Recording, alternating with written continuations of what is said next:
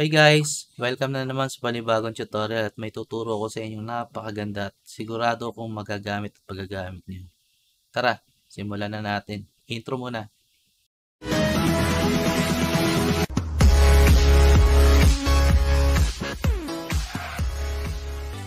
Okay guys, andito na tayo sa Photoshop at uh, meron ako ditong apat na litrato na i-edit natin ngayon. Ayan. Okay, simulan muna natin dito.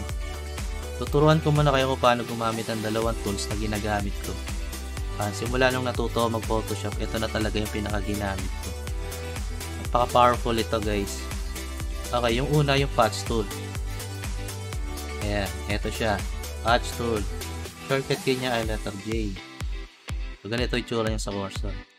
Sa paggamit ng patch tool guys, madali lang, madali lang naman yan. Uh, bibilugan nyo lang yung area na may damage at ililipat nyo doon sa walang damage. Kagaya nito. Para mabilugan yan, uh, click nyo lang yung mouse nyo, hold, tapos bilugan nyo lang ng ganyan, lipat, bilugan nyo ganyan. Sa gitna ng bilog na hold nyo lang yan, tapos ilipat nyo doon.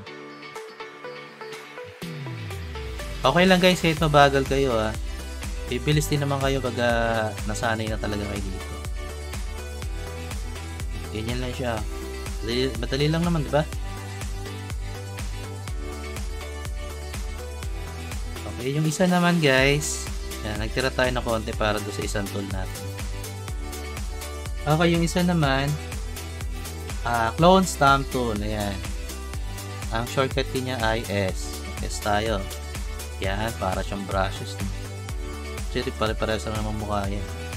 So, ganito ang stamp tool, bilog. Para, ang trabaho naman ng stamp tool naman is, uh, kukuha siya ng paggagayahan at itatapal niya doon sa may damage. Para maintindihan niya, ganito lang yan. Ah. Hold niyo yung alt, magbabago yan. Ah. Hold mo yung alt, yan, magiging ganyan yan. Okay lang yan. Sabihin niyo, kukuha tayo ng sample. So, ito ah. Kuha ko dito, hold yung alt, kukuha ko dyan, one click lang, isa, and iba, ibabrush ko siya dito. Diba? Nakikita niyo yung positive side. May nakikita ba? Eh, no, nasa taas. Kita niyo yan, gumagalaw sa taas. Ibig sabihin, yun yung ginagaya niya at pinapatong niya doon sa may damage. So, kung masyado na siya malayo, kuha ulit kayo ng sample na malapit, i-brush niyo ulit dito. Kuha ulit tayo sample dito, brush niyo ulit yan. Yan. Dito. Sa mga tapos yan. Magagamit nyo to guys sa mga ano, background na may kailangang alisin. Okay. Okay, dito naman sa isa, halimbawa may nagpa-picture sa inyo tapos uh, may tao sa likod or marami siyang tao sa likod. Uh, ano pa tawag natin? Photo bomber ba yun? Madali lang yan. Pwede nyo gamitin yung patch tool. So, shortcut KJ, bilugan nyo lang yan, yung tao na yon and drag nyo sa malinis. Bilis lang, di ba? Ganun lang yan. Sa stamp tool naman, ganun din kukuha lang tayo ng sample na malinis then ibabrush natin doon sa gusto nating alisin diba? dali lang pwede nyo rin paramihin yan gusto nyo na may kasama yan click nyo lang yung sample na tao na yan then ibrush mo doon patabi niya diba? kasama na siya ayos no okay next photo tayo yan mabilisan lang Okay guys, ito na yung pinaka most requested talaga na tutorial. Gusto nila matuto ko paano mag-retouch ng skin, paano alisin yung mga tagyawat. Sabi ko sa inyo, madalas yung ginagamit dyan, patch tool at saka stamp tool. Sa patch tool kasi pwede nating uh, bilugan lang yan, tagyawat. Dahil i-drag natin sa malinis. Pero hindi lahat applicable yan kasi kung paano wala ng space yan. Diba? Puro tagyawat yan. Mahirap yun. Si sample, ganun din. Kumuha lang tayo sample dyan. Then, ayan, babrush lang natin. Wala nang tagyawat, di ba? Bilis lang. Yun nga, gaya na sabi ko, hindi lahat ng skin applicable yan. Kasi may mga skin talaga na hindi naman sa ano ah, mga ano talagang skin na yan, halos lahat meron. Na, na ano kayo, na-encounter ko yan. Tool muna natin itong malaki. Malaki. Dito tayo po. Yan. Okay, paano itong mga natira? Okay guys, may ginawa akong action dyan. Talas kong ginagamit tong uh, action na ginawa ko sa mga scene retouching na yan. Pwede, pwede nyo i-download yan dito sa aking uh, description box. Yan, i-upload ko yan para may share ko sa inyo. So, labas natin yung action na yon Window, Actions. Okay, ito na yan. Smooth Skin. Okay, smooth Skin. Yung ginag ginagamit ko sa mga ganito. So, play natin yan. Play natin. Ito yun ha. Ito yung madadownload nyo. Smooth Skin ha. Pagka-download nyo yan, uh, click nyo lang dito. Diba? Na-download nyo na. Na-save nyo na.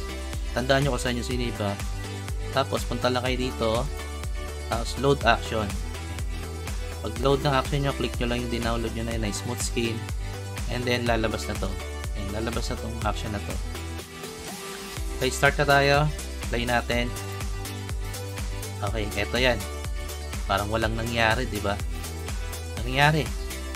Meron yan. Ano lang. Okay, para matanggal natin to, itong area na to, hindi tayo mag-stamp tool or mag-brush tool di, ah, brush tool, mean. Patch tool dito, isa-isa. Sabay-sabay natin aalisin yan. Gamit tayo ng lasso tool. Ang lasso tool natin ito. Ayan. Make sure na gagamitin yung polygonal ah. Polygonal lasso tool. Lasso. Lasso tool yan. So, shortcut key, letter L. Yan. So, paggamit ng lasso tool guys, klanan lang. Ah, click lang, click, click. Kasi nagdudugtong yan. Automatic magdudugtong yan. Para siyang sinulid. Kaya na to. Click ako dito. Itong area na to bibilugan natin ha.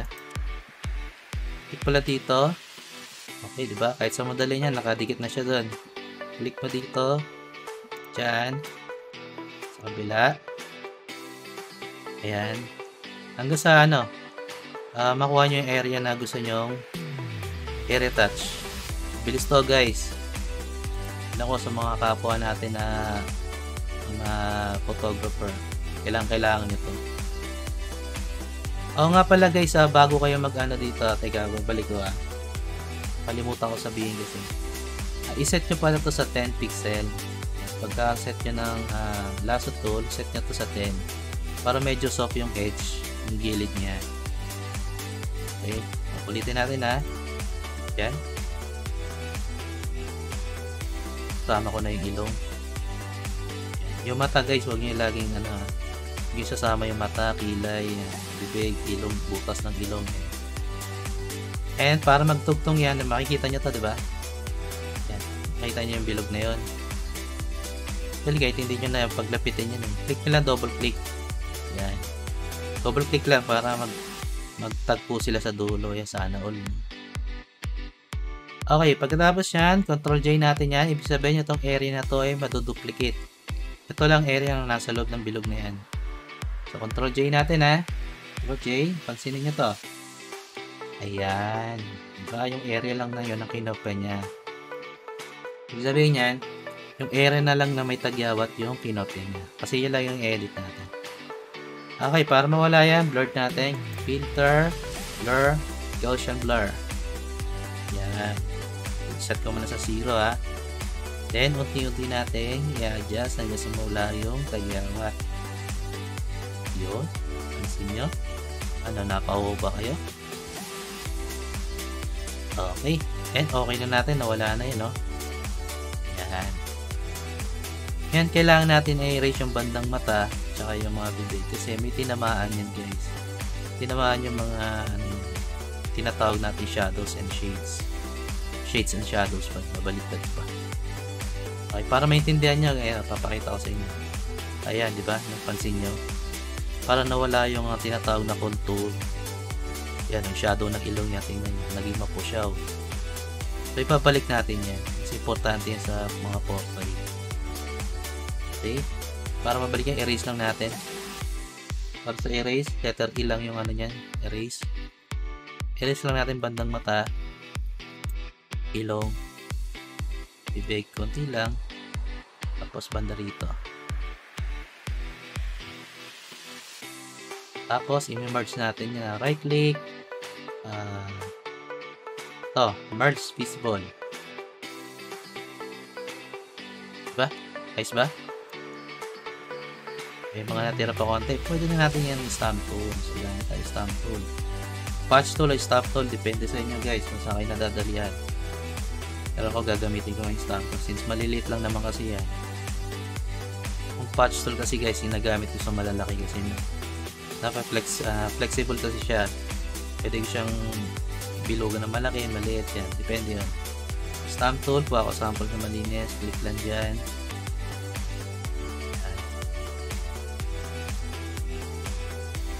Tag-ilang, di ba?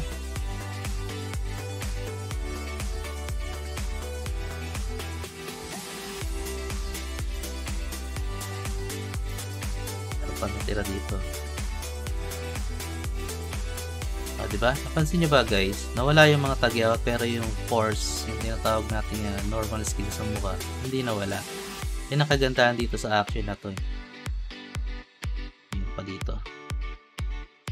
Kaya, yan. Pwede nyo gamitin yan, guys. Magagamit na talaga yan. Okay, next photo tayo, guys. Hmm, eto. Ito yung sinasabi ko na ano. Mahirap to, guys. Pag ninanumano nyo to. Kakaroon niya ng tawag na bakat-bakat. Yan. Hirap yan. Gagamitin natin yung ginawa nating action, ha. Play natin. Ayan. So, gaya ng kanina, gamit tayo lasso tool. Ilugan lang natin yung area na gusto natin i-retouch. Ano natin ito ma lalo ng ilong, bandang ilong. Tapos isama na rin natin. Patilya, huwag na siguro. Ayan. Tapos, Control J. Filter, Gaussian Blur. Balik muna natin sa zero kailangan yung mayroon pa ng shadows. Importante yung mga shadows guys, highlights. Ito mga highlights na importante rin yun. Pwedeng mawala yan. Zoom out ko lang ng konti ah. Sumobra kinis eh. Hmm. Sa tingin nyo guys, okay na ba yan? Okay, okay na yan. O diba? kahit pa paano nabawasan okay control ano natin to merge na natin to ito pala merge down ibig sabihin pag merge pag merge visible sa lahat niya magsasama pag merge down itong nasa ibabaw na yan bababa siya dito kumbaga didikit na siya doon merge down natin ayan ngayon para mawala itong mga tagyawat na to ng mga malalaki click natin yung taas taas na yan, yung layer 1 copy na yan. Click nyo lang yan, then doon tayo magre-retouch. Doon mismo ha, sa taas mismo ha. Gagamitin ulit, stamp tool. Depende sa inyo guys ha, kung ano gusto nyo gamitin ha. Actually guys, maraming klase ng pang retouch. Kaya lang, mas nasanay ako sa dalawang tool na tools pala, yung dalawa. Sobrang gamit na gamit lalo sa retouching sa manipulation ayan guys may mga manipulation na kailangan ng stamp tool bawa uh, sa family picture or sa solo picture na mayroong basurahan sa likod may photo bomber yan pwede pwede nyo gamitin yung stamp tool ako nga pala guys ha, sa pag-retouch pala huwag masyadong over-retouch siya tinatawag natin ano yung parang malikay na yung skin. Kailangan may mga pores pa rin yan o yung butas-butas. Huwag namang malalaki. Saktong pores lang. Pansin nyo guys. Oh! Pupugi na agad no? Okay, paano yung? Ano pa rin. Balik tayo sa layer 1.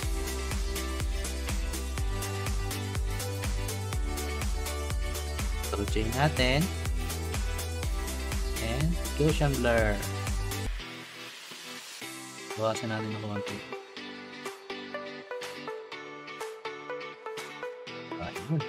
Ayos na guys na.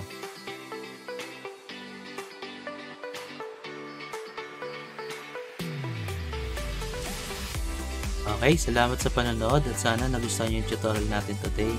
para maging updated kayo sa mga darating ko pang tutorial, mag-subscribe na kayo sa aking channel para naman sama-sama tayong kumita dito sa pag-edit. At yung ginawa nating action kanina, pwede nyo pwede nyo i-download yun at gamitin nyo sa mga gaya ng Togo pictorial na I mean Togo retouching. Madalas kong ginagamit yan dyan sa mga portrait. Sigurado ako magagamit yan. Sundan nyo lang yung ating tutorial at sigurado ako kikita kayo dyan. So yun lang. Salamat. Happy edit.